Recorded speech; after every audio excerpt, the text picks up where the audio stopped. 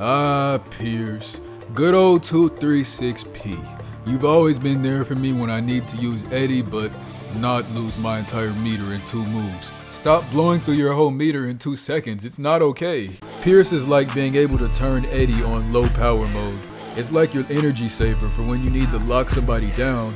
But like I said, not trying to spend up Eddie's whole meter. Like he really has time for that. Like like there's not better things he could be doing with it. I'm pretty sure eddie would appreciate it if i didn't blow through his meter like the migos at a strip club. I mean he's a whole forbidden beast. I'm sure he could be spending that meter on something else besides being forced to shapeshift into frogs just because i think frogs are cute. So i spent hundreds of hours in training. Faded of course. Probably the most lit off the gas i've been this year. Just straight zato labbing. You guys want to know my secret? I get wasted then i go play video games your boy Stiah was literally in training mode like it was the astral plane. Just like zoomed in, bro, like exploring every possible route and outcome I could for this video. And I found shit for Zaza that made me laugh and cry. So you know we on demon time when I say this video is packed chock full of fuckery. Like if they do not study the matchup, they are screwed.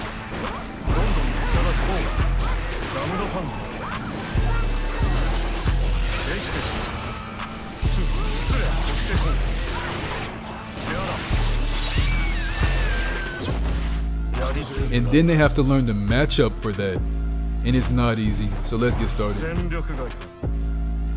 Developers of Guilty Gear Strive blessed us with a whole 3 uses of 236p as opposed to our other specials which max out at 2 uses, but I'm about to show y'all how you can get 6 of them. Pierce is actually a 2 part string with a 7 frame gap between the first and second hit, so you can cancel with Drunkard Shade and cut them in half. This is going to give you 7 actually, they give you a bonus one at the end for the free. By cutting your pierces in half, you cut the amount of meter drain required down by 50%.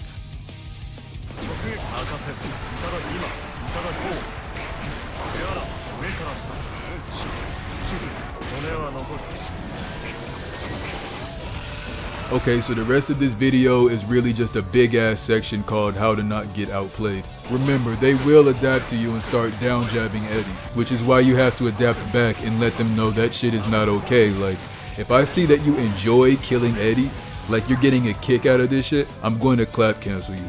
I'm gonna clap cancel you. So if you go to your settings and you change your dummy to jump after blocking, then you'll notice how fucking easy it really is to jump Pierce. Like you really have to be, you'd have to be all the way up in their face for them to not be able to jump this. And, and this is not a good range to be dealing with Giovanna at all. At all. This is not good. I mean, you could clap cancel in the leaping frog, but to be honest, doing that every time is kind of lame. There's there's some other ways besides clapping up a storm, to, like 2S. 2S is good. 2S is a decent gap filler. As you can see, Faust cannot jump me right here. Pierce dash 2S. Pierce dash 2S. You guys need to practice this because once you learn it, you can mix it up into even more dangerous setups. The more random, the better. And if they mash and start pressing buttons, counter hit. Counter hit into a max damage wall break combo if you really want to. Because this can be mixed in with a grab, they have to pick an option. They will be counter hit if you just dash in and do a 2S. They have to do something. If you just sit there, you're gonna get grabbed. If you do, if you mash, you're gonna get counter hit. Some people think that I won't just sit here and do this all day, but I will. I, I'll really just sit here and spend the entire meter on two S's and never really go for the grab. And then I'll go for the grab that one time you think I'm gonna 2S. After doing the 2S Eddie Punch string two times, you'll have a little bit of juice left to do whatever your little heart desires. You know, so you better get funky with this little bit of juice you got left, you know what I'm saying? Just switch it up. Do something they're not expecting, like a dash in, clap cancel. Pretend you're gonna go in for the grab, clap cancel, it, catch the air jump, wall break combo like that. Yeah, they're not gonna see that coming. What? And we haven't even talked about the six piece string yet. You jab, 6P, and then use Pierce, and they cannot jump it. But I'm just trying to show you guys all the things that I use personally. 6P string is really nice because you can jab confirm it. But did you know you can cancel 6P into Drunkard Shade and then have it bring you a mix? Like you can you can you could get 6P to bring you a 50-50. That's amazing.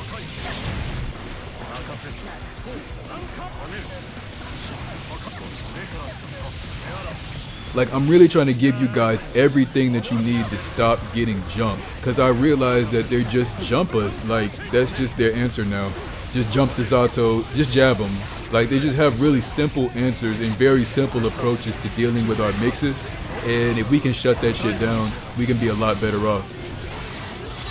Here's another string you could use which puts Eddie behind the opponent and you still have more than half your meter left so you get two moves from Eddie afterwards which is really nice.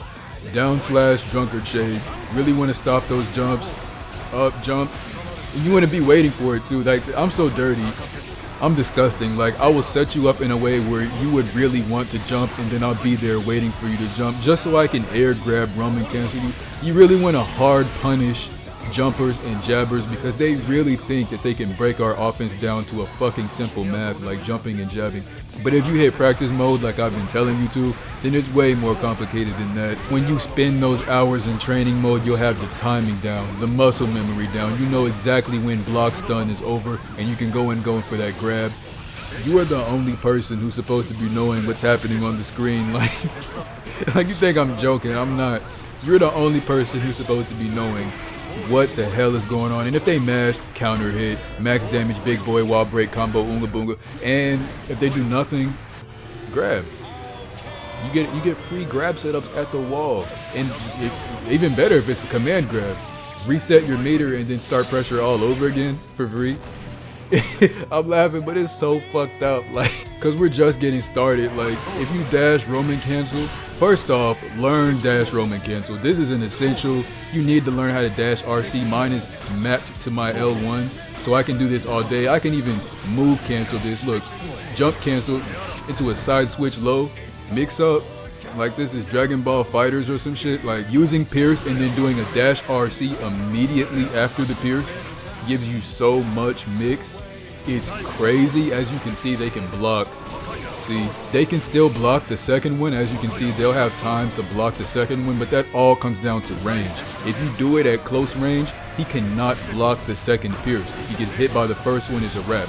Allow me to take a second to explain this combo, because I know a lot of you are like, what is going on? What is he even doing?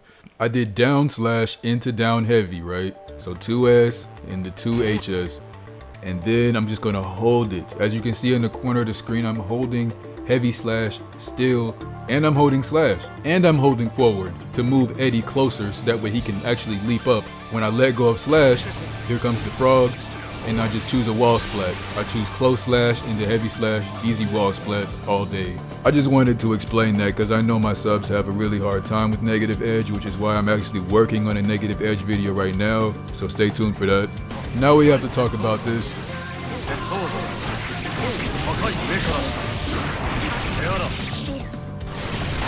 We have to talk about I can't just do that and then just not talk about it, so let's talk about it. After dash RC, you just land a simple air kick.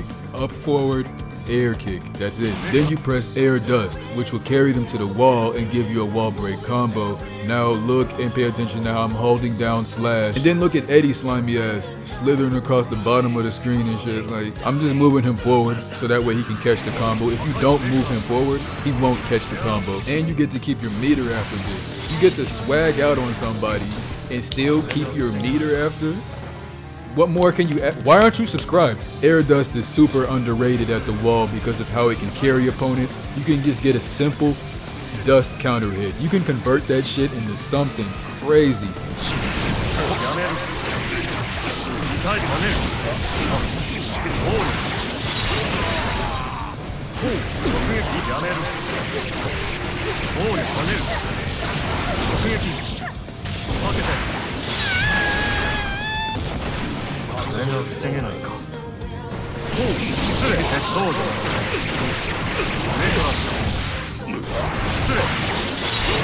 You don't have to stick to the same thing. We're playing Zato here. You can swap it out for drills. It doesn't have to be the frog every time, bro.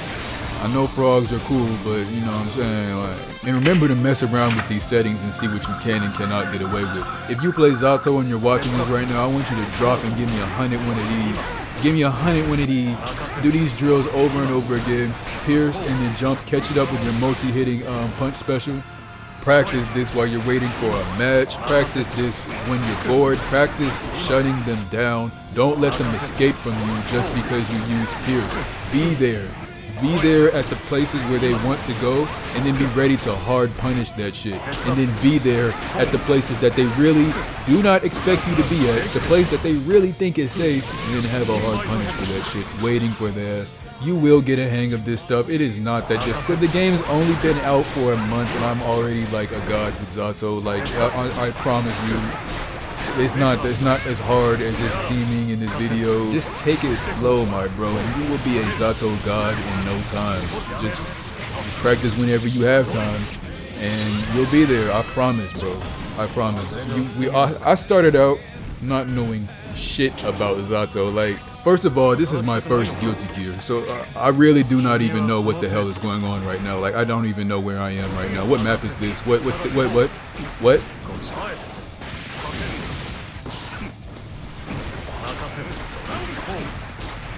Like I know nothing, but I do, I'm doing a lot for somebody who knows nothing. Remember I came up with the shield sandwiches, and now it's become a staple in my moveset. Along with cutting pierces in half, you can really mix up when the grab is coming. They like they would really have to know the matchup to know what is going on. And that's really the key to being Zato, being the only one that knows what the fuck is going on.